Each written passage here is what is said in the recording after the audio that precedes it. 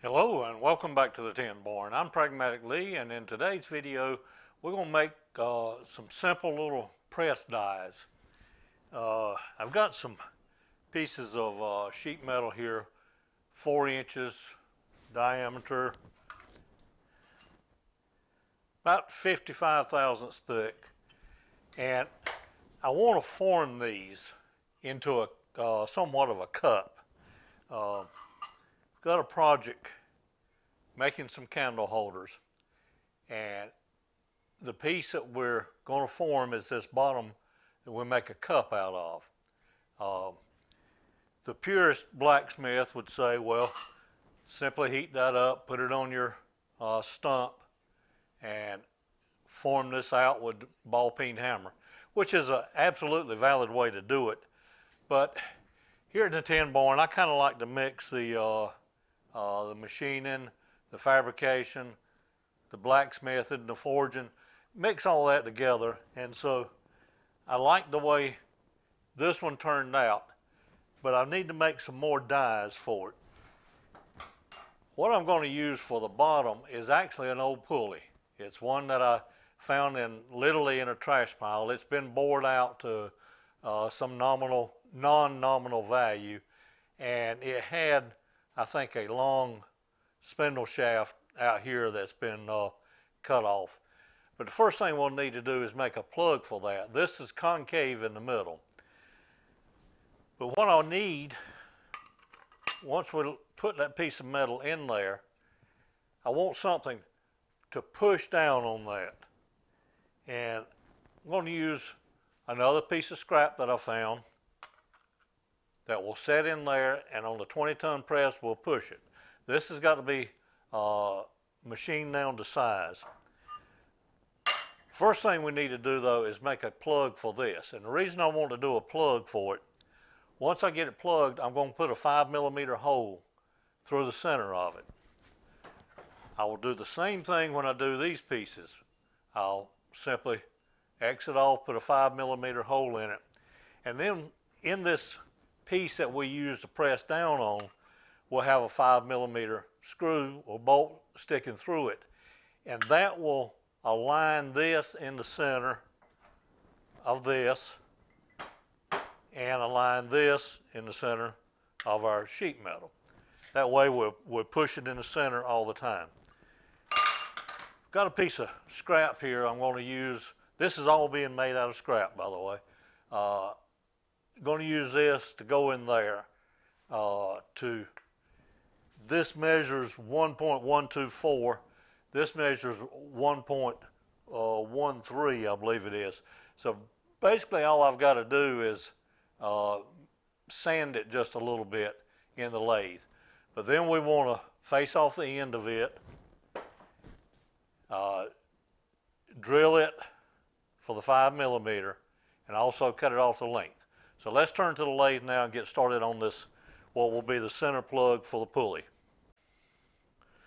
All right, I've got our piece that's going to be the, uh, the plug for the center of the uh, pulley.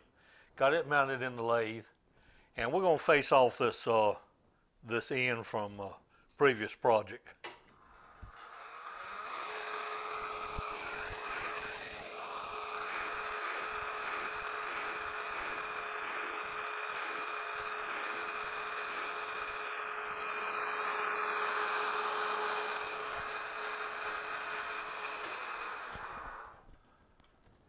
we've got it faced off now. And I'm just going to take a piece of emery cloth and see if I can knock this exterior down. Again, I, I said it needs to be 1.124. And we're about we're about 1.132, a little less than 10 thousandths. I tell you what, with that much I can probably just make a skim pass, knock some of this rust off.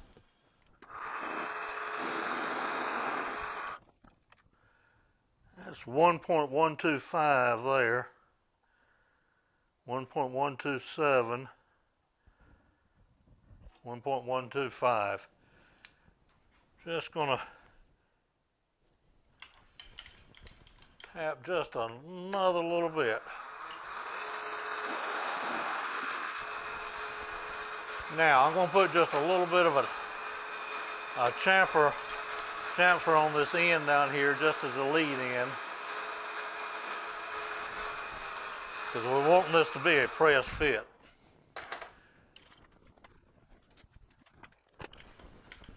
This needs to be 0.4 thick.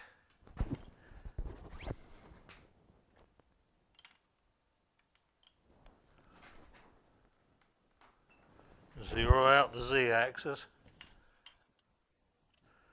And there's 0.4.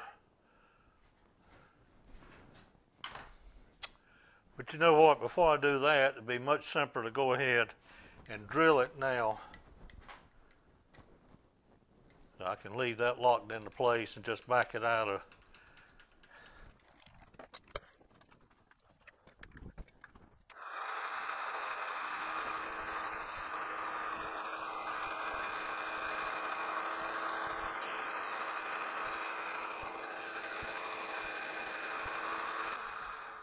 Right, that's 0.8 deep, about twice what we actually need.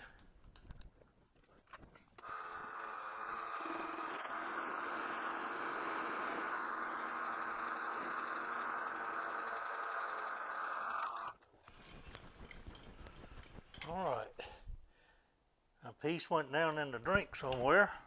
There it is. So I'm going to get this deburred, that's kind of warm. I'm going to get this deburred on the end, carry it over to the press, and press it in. I'll be right back. All right, I've got the centerpiece pressed into our pulley now, which is going to be the bottom part of our mold.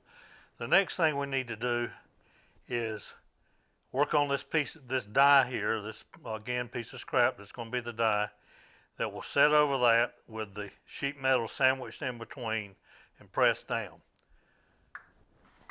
That piece needs to be 1.675 in diameter and 3 quarters of an inch thick. So to hold that, I'm going to use my little spider. Uh, this is, I know there's some commercial versions of this. Uh, this happens to be one of the most uh, useful items I've done here and uh, ever built here in the shop. And Actually, it's one of my highest viewed uh, videos as well.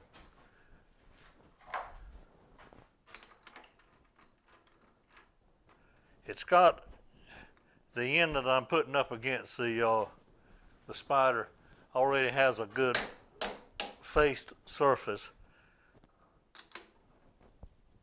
So we're going to put that in. The thickness of 0.75 is not real critical, but we're going to go ahead and face it off, you know, reasonably close to that.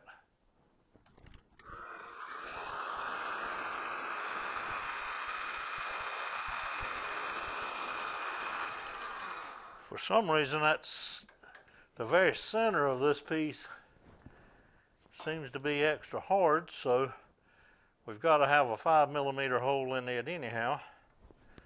We'll go ahead and do that. That'll make the turning or the facing a little easier as well.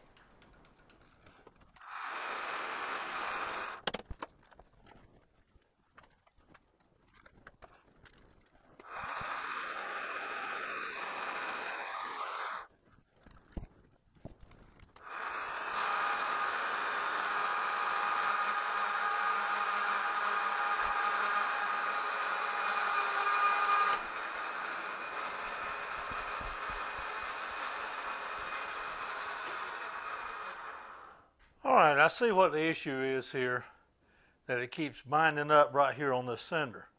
The problem is when I mounted my tool on here, I didn't seat it all the way to the bottom. So it's not on center. The reason I didn't, there was some swarf down there.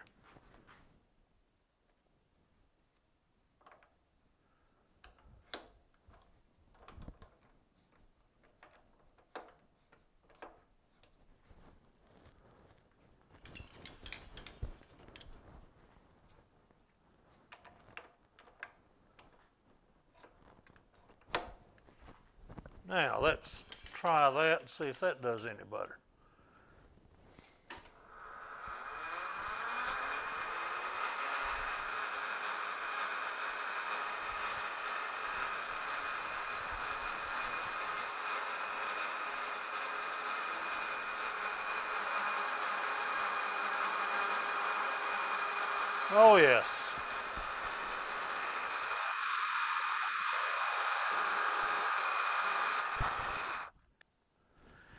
Maybe one more pass.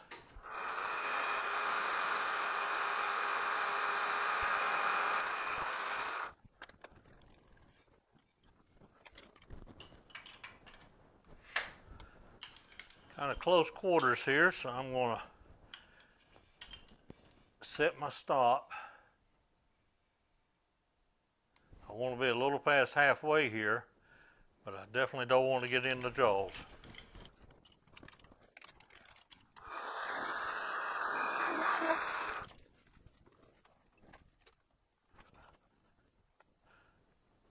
Need about 131 thousandths.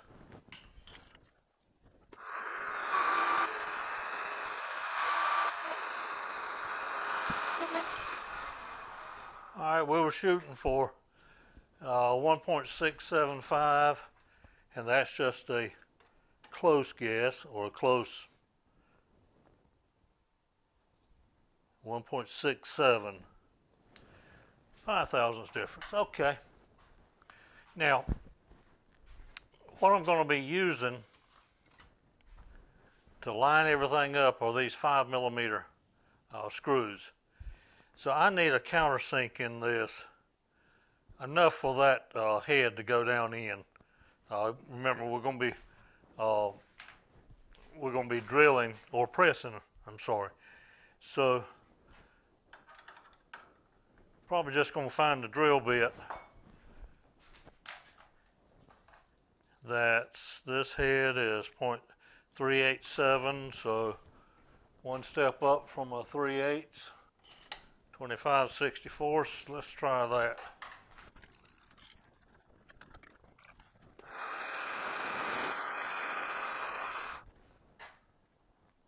And that head will bear down in there fine. All right, gonna do a put a little chamfer on that.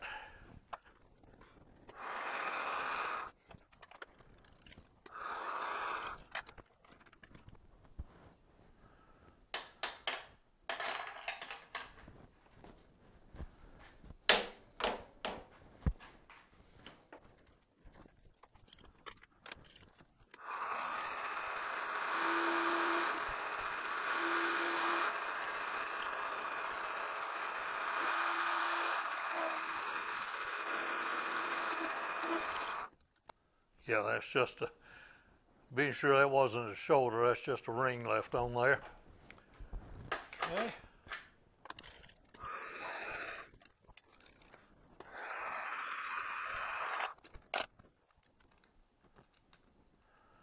All right, so there's our our die, top die. We get turned over to the press, get the camera around on the press, and I'll show you how all this is going to work.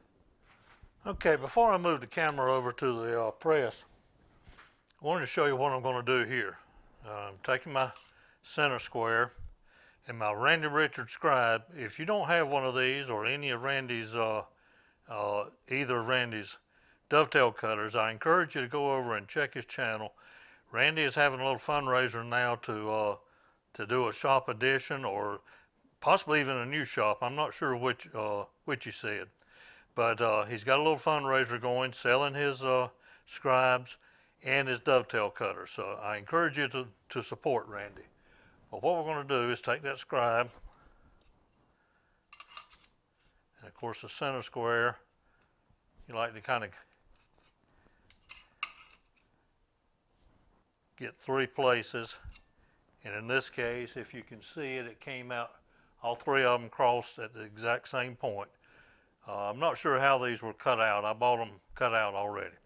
So I'm going to drill a five millimeter hole in this one and then we'll go over to the press. I'm at the uh, 20 ton press now and I've got the uh, the pulley, which is going to be the bottom part of our form. Line it up on there. Now, as I said, I drilled a five millimeter holding that, and I'll explain in a minute why I'm using five millimeter when in the end there's going to be a quarter inch screw going through here. With a little block we just made, the five millimeter screw, sandwich that in between.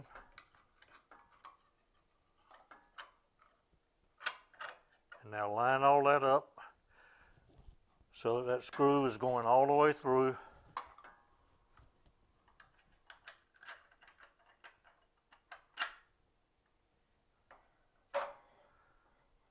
Put that under the press.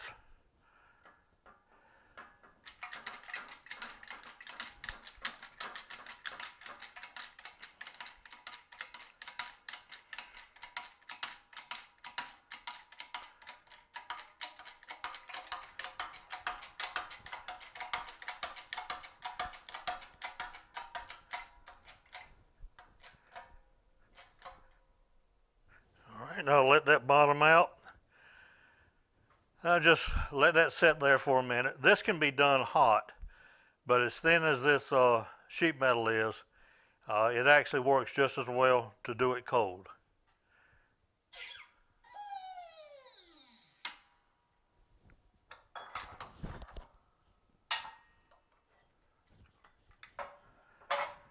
And there we have our formed cup. Got a nice flat on the bottom where it was set on a uh, shelf, countertop, wherever the candle holder may be set. But let's go back over to the workbench and there's a couple more things we need, need to do to this uh, to make it usable for the candle holder. For the candle holders to set flat on the uh, tabletop, wherever they're uh, used, we need an indention in the bottom. We've got the flat surface we made with our die, mold and die, but we need an indention in the center for the screw head. So I'm going to take this same piece die that we made over there, take the screw out, going to turn it over to the bottom side, put it here in the, in the mill, and I'm going to use a three quarter inch bit, or I'm sorry, seven eighths bit, and put just a little countersink in there. And what that countersink will be is for this steel ball to push down in just enough to form this indention in here. So let's get this centered up.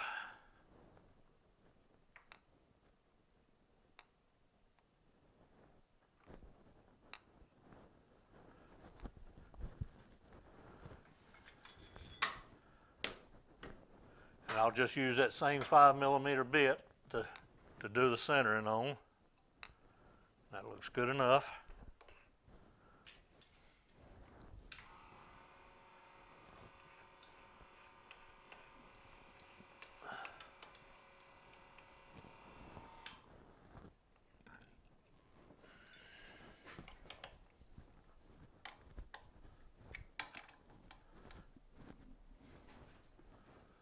All right, let's slow this down.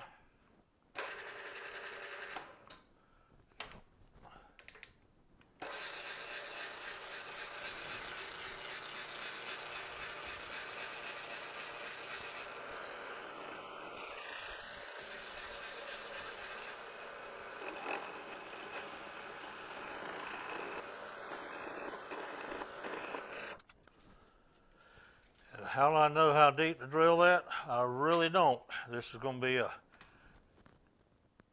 a trial and error, but that looks like it's cleared and maybe enough extra around there for the thickness of the uh, sheet metal. So we've done everything so far to keep all of our stuff aligned. We got to keep this ball aligned. So the next part we need to do is look at drilling and tapping this ball for a five millimeter as well. so that when we get ready to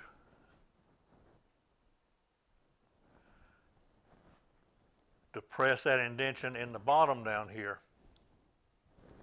we can, uh, we'll be able to hold it, hold it straight like we have the other pieces. All right, now I'm going to give you a quick lesson on how to hold your balls. Uh, I found in doing this, the better grip you can get on your ball, the more successful you're going to be. And to get a good grip on it, I like to use a 5C collet with a collet stop. So I'm going to put the collet stop in. And then this is a one inch ball, one inch 5C collet. We'll take our collet holder.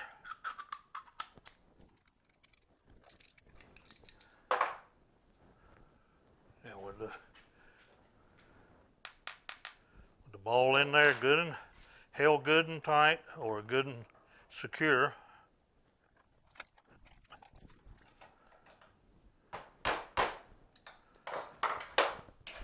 All right, so there's how you hold your balls. Okay, according to my Starrett inch metric tap drill size, sizes and decimal equivalents for an M5.8 says a tap drill uh, of 4.2 millimeters. I do not have a 4.2. I got a four and a four and a half. The decimal equivalent is 0.1654. But if we look over here on the decimal equivalent drill sizes, a .166 was, which is six tenths of a thousandth within size, says a number 19 bit. I've got a number 19, so that's what we're going to use for our uh, tap drill for the five millimeter. All right, I've got our uh, collet holder, our hexagon collet holder, mounted in the three jaw chuck. Remember, it's got our ball good and held good and tight. These steel balls have got a relatively hard surface on them, but they're considerably softer once you break that surface. So we're going to take a center drill as usual and just try to break that hard surface.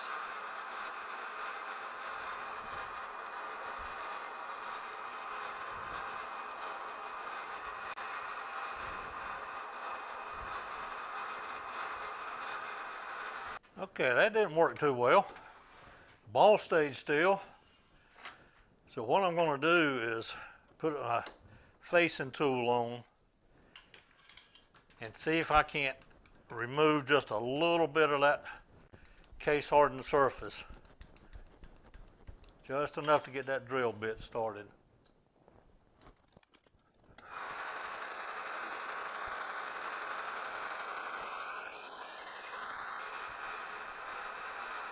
All right, now let's see if that got enough of that hard surface off that we can break through.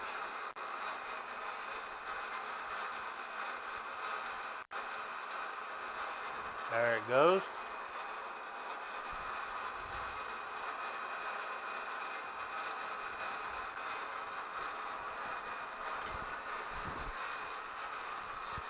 Now we'll put our number 19 drill in.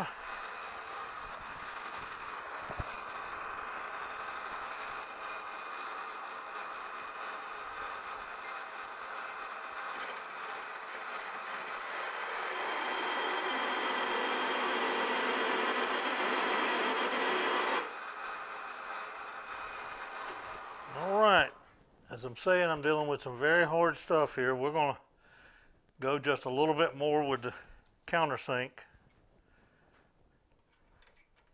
And hopefully that will get our drill bit into that softer core.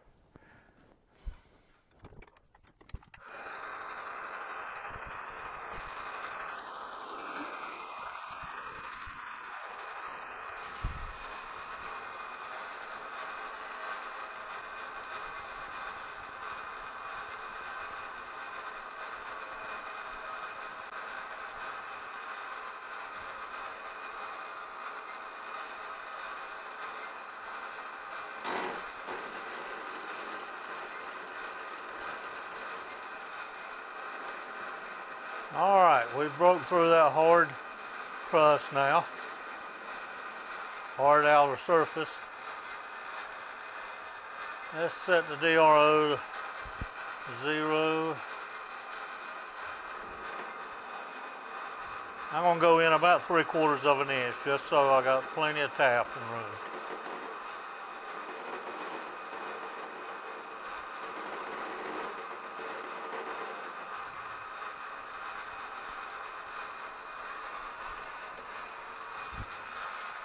All right, not only has Pragmatic Lee showed you how to hold your balls, showed you how to drill a hole in them.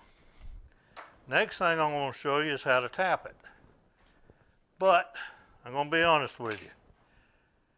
Through the magic of video, I'm going to be right back here in just a couple seconds and tap this. But in reality, it's probably going to have to be the next day because I just realized I didn't have a 5 millimeter tap either. Got on Amazon and ordered one for next day delivery. So I'll see you tomorrow. Okay, I got my 5 millimeter uh, 0.8 tap in. And I decided I'd move over here to the milling machine, uh, leaving the ball in the collet holder. Uh, a little easier to see over here on the milling machine. But I've got it in there, and I use the, uh, the same number 19 drill bit in the chuck just to line it up on center. So let's set our, got the tap guide uh, in the chuck as well now to uh, to help keep it straight.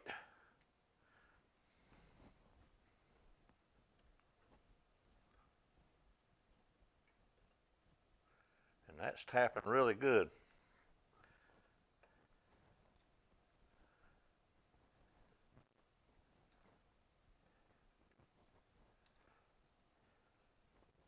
Kind of interesting this morning. Uh, I came out to the tin barn like I normally do. Brought a cup of coffee out with me. I've got my computer sitting back behind the camera on the desk over there. And usually use that time in the morning to get caught up on my videos. This morning there was a couple new videos. Uh, one from Steve Summers on taking down the wall in his uh, in his shop, and then there was one from Mr. Pete, uh, part three of his uh, conversion of the left-handed drill press vise, uh, making reconditioning it and making it a uh, right-handed vise.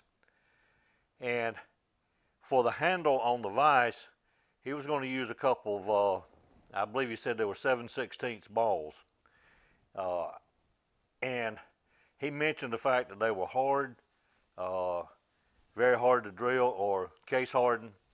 and what Mr. Pete did uh, was actually carried, uh, put these, set them on a fire brick, uh, heated them up uh, to red hot, basically tempered them, uh, let them cool on their own, and he was able to drill them then. Uh, for me, as you recall, what we did was just set this in the lathe and face off that hard surface on there and took the centering drill and further got through the hard surface. So now let's look and see.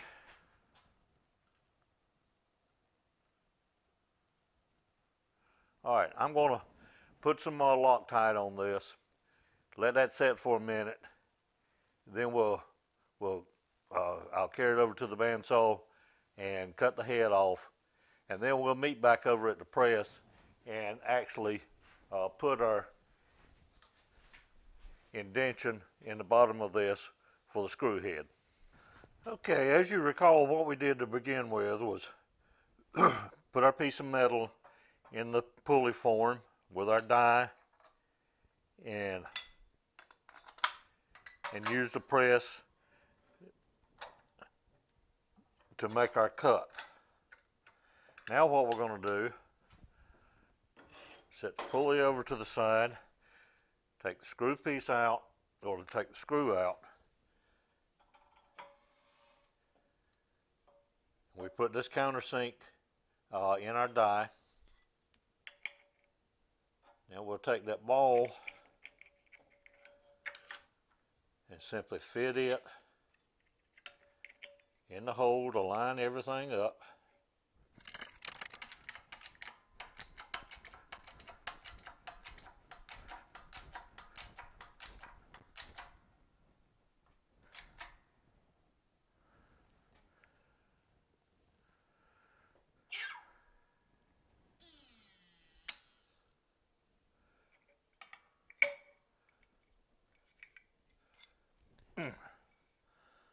Okay.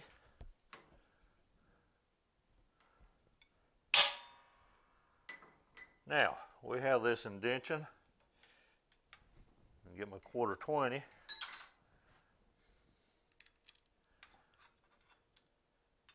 And we have that flat.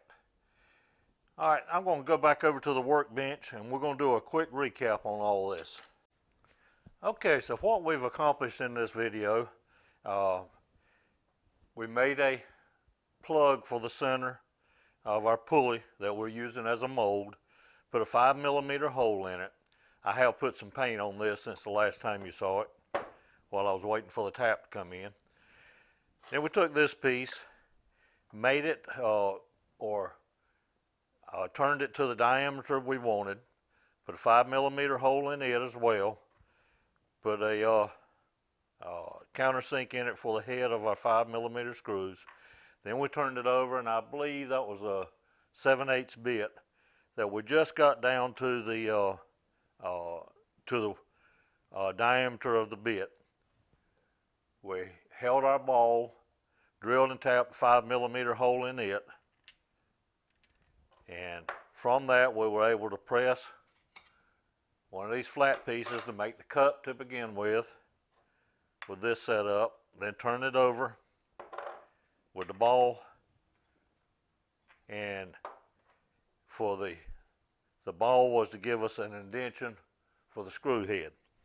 Now this is going to get this is not actually one of the candle holders right here. This is a candle snuffer, but it's drilled and tapped for quarter 20.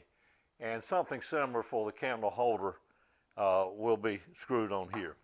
I told you earlier in the video that I would explain to you why I was using a 5 millimeter when I was going to be putting a quarter 20 screw through there.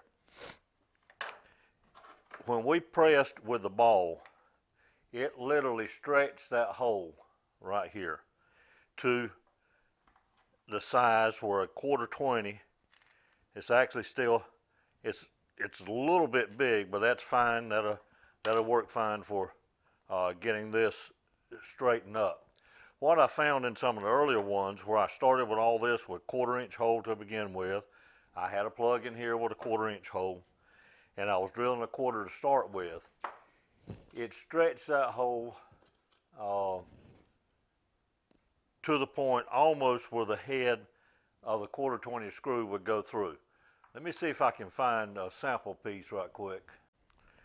Here's a piece I uh, punched with the, or started drilled out with a quarter, with a quarter inch hole. And again, it's almost, it stretched it almost to the size of the uh, screw head. So I was going to use a 3 16 or either a number 12. And to my surprise and disappointment, the local Lowe's that we have here does not have a number 12 screw anywhere in the in the building, nor do they have a 3 16 So I went five millimeter, which was uh, I just in my head said maybe that stretch will be about right, and it does. It turned out well. Some of you may be thinking too, why would I go to all this trouble to make a candle holder, candle holder cup? Well, I don't have a candle holder cup to make. I got about, I think there's uh, 32 of them here. I'll probably, every one of them will get the initial press.